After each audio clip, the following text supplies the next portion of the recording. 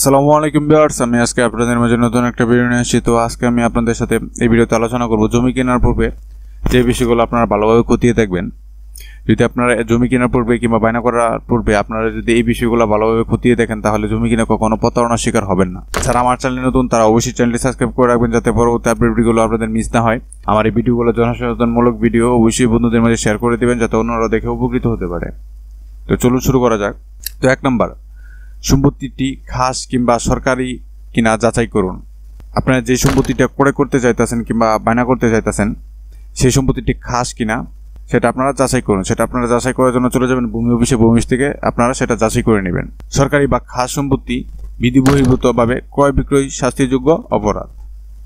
দুই নম্বর, অন্য কোনো পক্ষের সাথে বিক্রয়, চুক্তি বা বায়নাপত্র রেজিস্ট্রি করা আছে কিনা তা যাচাই করুন। আপনারা যে সম্পত্তিটা ক্রয় করতে চাইতেছেন কিংবা বায়না করতে চাইতেছেন, এই সম্পত্তিটা অন্য কোনো ব্যক্তির কাছে বিক্রি করা আছে কিনা কিংবা অন্য কোনো ব্যক্তির সাথে এটা বায়না করা আছে কিনা, এই জিনিসটা আপনাদের যাচাই করে নিতে হবে।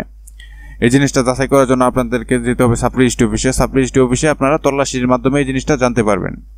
যে আপনি যে সম্পত্তিটা কিনতে চাইতেছেন, এটা অন্য কারোর সাথে বায়না করা কিনা কিংবা অন্য কারও কাছে বিক্রি করা হয়েছে কিনা আপনার পূর্বে।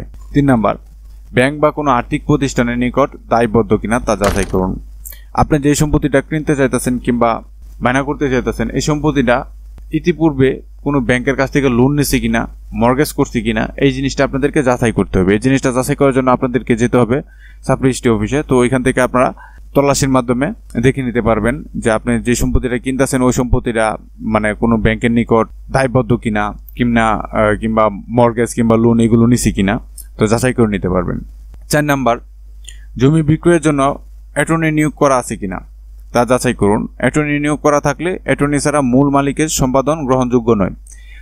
আপনি যে সম্পত্তিটা কিনতে চাইতেছেন কিংবা বায়না করতে চাইতেছেন, এই সম্পত্তিটা মানে অন্য কারও কাছে মালিকানা হস্তান্তর করা আছে কিনা মানে পাওয়ার অফ অ্যাটর্নি যে দলিলটা, এই দলিলটা করা আছে কিনা মানে অন্য কাউকে আপনার বেচা বিক্রি করার জন্য ক্ষমতা দেওয়া হয়েছে কিনা, এই জিনিসটা আপনাদেরকে খতিয়ে দেখতে হবে। তো এই জিনিসটা দেখার জন্য আপনার সাব রেজিস্ট্রি অফিসে আপনাকে এটা তল্লাশি দিতে হবে। যদি এই জিনিস এটা পাওয়ার অফ অ্যাটর্নি দেওয়া থাকে, তাহলে আপনাকে যাকে পাওয়ার অফ অ্যাটর্নি দেওয়া হয়েছে, তার কাছ থেকে আপনাদের রেজিস্ট্রি করে নিতে হবে। আর নয়তো হবে না। গ্রহণযোগ্য হবে না এটা। তো পাঁচ নাম্বার, জমি নিয়ে মামলা মোকদ্দমা চলছে কিনা, যাচাই করুন। মামলা, মামলাভুক্ত জমি কেনা উচিত নয়। আপনি যে সম্পত্তিটা ক্রয় করতে চাইতেছেন কিংবা বায়না করতে চাইতেছেন, এটা নিয়ে কোনো মামলা মোকদ্দমা আছে কিনা, এই জিনিসটা আপনাদেরকে যাচাই করতে হবে। তো এই জিনিসটা যাচাই করার জন্য আপনারা চলে যাবেন ভূমি অফিসে, ওইখান থেকে আপনারা সরকারের রেকর্ড ফাইলে আপনারা দেখে নিতে পারবেন।